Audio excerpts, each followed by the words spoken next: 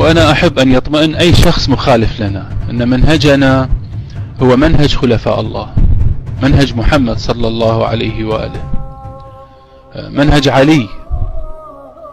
فمحمد لم يحتل المدينة المنورة بالقوة العسكرية وإنما دعا الناس إلى حاكمية الله. ولما قبله أهل المدينة انتقل إلى المدينة. وكذلك علي عليه السلام. نصبه رسول الله صلى الله عليه وآله. ولما وجد أنه وحيد مع قلة من أنصاره اعتزل في بيته حتى رجع الناس له وقبلوا تنصيبه فقام بالأمر. فنحن كذلك لا يتصور أحد أننا نريد تشكيل قوة عسكرية لإجبار الناس آه، بالقوة على قبول أحمد الحسن. أبدا هذا ليس منهجنا وليس طريقنا.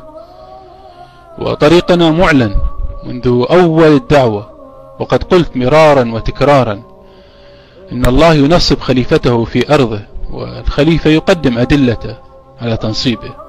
وعلى الناس أن تقبل تنصيبه فإن رفضوا التنصيب الإلهي فقد ضيعوا حظهم وآخرتهم.